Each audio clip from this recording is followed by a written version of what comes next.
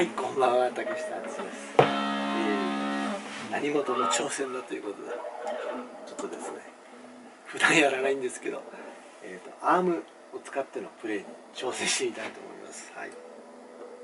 これですね。はい行ってみます。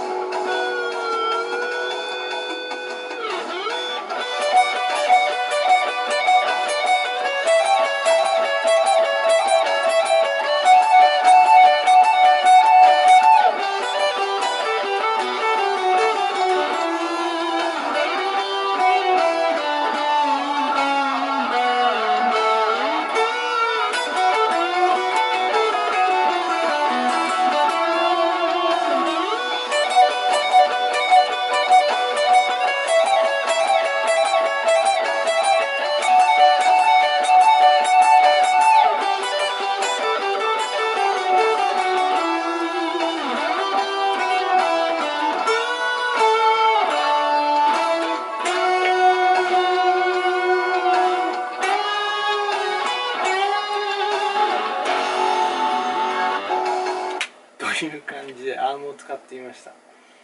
え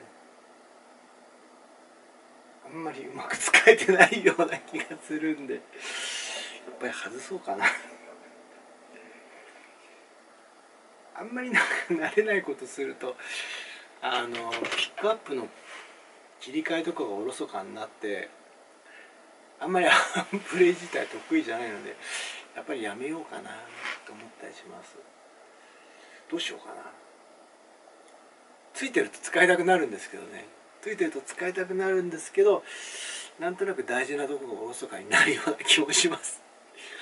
ということでどうでしょう。アーム使ったプレイがもしよかったらあの高評価の方、えー、入れてみてください、えー、やめた方がいいのかな。わかんないや。